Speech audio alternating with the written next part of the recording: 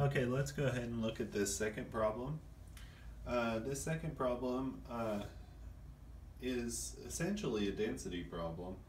Um, what we're doing is comparing physical properties here. So uh, if the physical property of density is essentially equivalent to the known physical property of a particular piece of wood, in this case um, oak if it's around 0.9 grams per cubic centimeter and pine if it's around 0.4 grams per cubic centimeter, then you can identify what piece of uh, wood you have. Um, so essentially this is converting from one density unit to another because remember density is uh, mass divided by volume and what we're looking for is grams per cubic centimeter, of course, which is mass divided by volume, but pounds is mass and gallons is volume. So you have a mass to volume ratio there.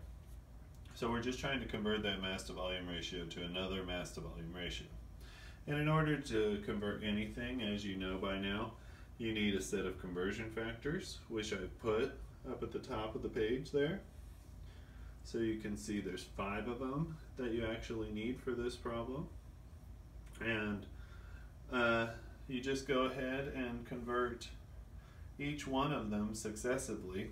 So what I uh, converted first was the mass units from pounds to kilograms and then from kilograms to grams and I stopped there because of course that's the units that I wanted. I wanted grams per cubic centimeter and right now I'm in grams per gallon. So that's not what we want, the volume unit at, at least. So let's go ahead and convert uh, gallons to liters. So using that uh, next conversion factor over, that cancels out gallons. We still have liters, so we're going to convert that to milliliters. And then of course, lastly, we're going to use the last conversion factor to cancel out our mils and uh, get cubic centimeters.